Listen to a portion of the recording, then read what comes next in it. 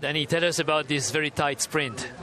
Yeah, it was really, really tight. Uh, I didn't know sure if I won, but uh, yeah, I the radio a lot of uh, happy guys, so uh, yeah, we're really happy. Uh, what was your tactic? How did you move in the peloton when uh, Trek was leading?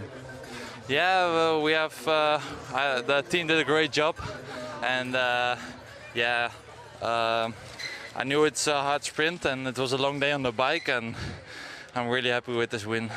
What does it mean for you to beat uh, riders like uh, Kristoff Degenkolb, Démare, all uh, Milan San Remo winners? Yeah, normally I'm behind them, but today uh, and uh, I was first, and uh, I'm really happy to uh, to beat a big rider like John Degenkolb.